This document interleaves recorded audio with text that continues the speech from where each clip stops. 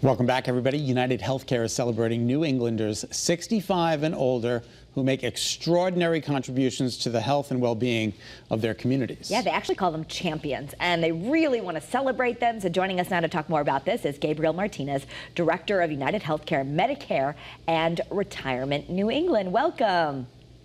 Hi, how you doing? Good morning. Gabrielle, I'm just a little upset that I don't qualify quite yet for this award, but I'm looking forward to it. All right, fantastic. We hope to see a nomination for you when it comes up. Okay, good. Tell us a little bit more about, like, really what is New England Champions uh, as far as the program, and and how do we get involved? Yeah, so so this is our first United Healthcare's first ever New England Champions program, and ultimately, you know, it recognizes older adults, so 65 and over, um, across New England, who are really doing these amazing, incredible things to contribute to the health and well-being of their communities.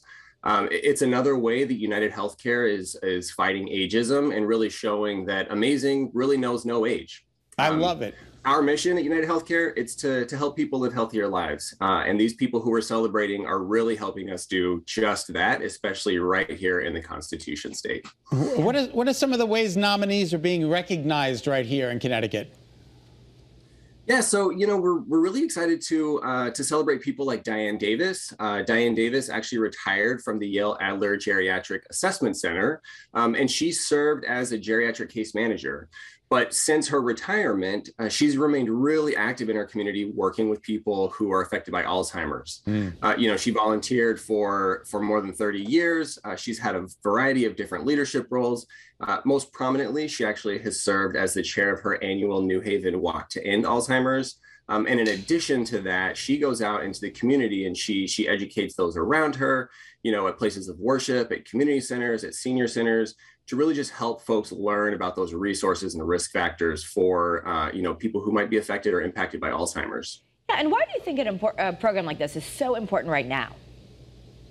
You know, there's there are always reasons to celebrate older adults, but but right now it's really important to draw attention to the many contributions that people over the age of 65 are making that really enrich our communities across Connecticut and New England.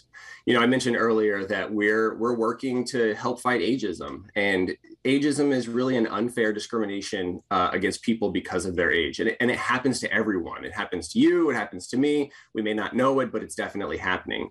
And this program, it's just one of the ways that we're we're really helping raise awareness for the role of older adults and that play an important role uh, in improving the health and well-being of all of our communities. Because, like I said, amazing really knows no age. Gabriel, Gabriel, how do you get? Do you, do you does United Healthcare nominate the person, or do people nominate another person? How do they become? Yeah, how are they selected? How are they Sure, selected? Yeah. So you know, ultimately, we had a an online submission form uh, five. So folks were able to go in there. It was not just for united healthcare members. So individuals could go in they knew someone who was doing something amazing. They went in nominated their uh, their champion so to speak. And ultimately you know we pulled together this incredible selection committee um, who are people out in the community business leaders clinical leaders um, and we even have heisman trophy winner and proud new englander doug flutie on that uh, selection committee who ultimately selected the you know there were six individuals who were celebrating this year Terrific. Well, it sounds like a really wonderful program. Yeah, absolutely. You're going to hold the New England Champions celebratory event in Boston on June 30th, and so we get to make a donation. Uh, there'll be a the donation will be made to a local charity. Um, so that's just awesome, and I think it's so important to uh, let people know that you know we get better, not older. Yeah, Karen, keep keep telling me that. Thank you, No, it's Gabriel.